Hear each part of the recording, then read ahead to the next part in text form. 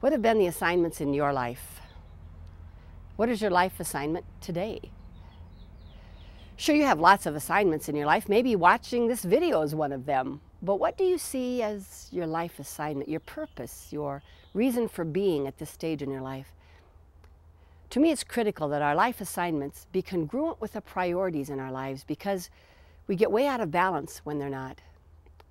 It's important to consider our life assignments and living our priorities when we're deciding how we want to contribute to our world. As we strive to make a difference, we need to make healthy, conscious decisions about how involved to be so we don't get out of balance. We can choose to respond to the needs of our world in one of three ways. One is no involvement. You may know some people with this approach. I like to think that it's not from an absence of caring, but from an absence of knowledge. It's a lot easier not to do something about a problem if you don't know about it.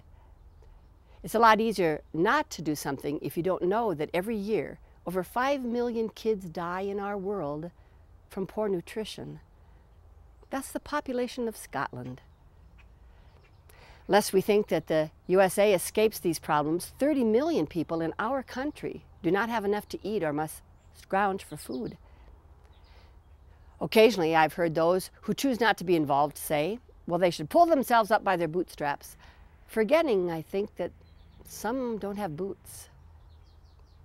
Others say, well, they should take care of their own.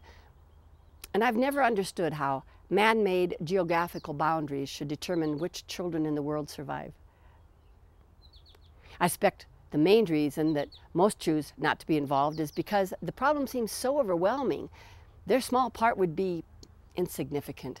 But it's important to remember that no effort is too small. Every tiny thing makes a difference beyond our knowledge and comprehension.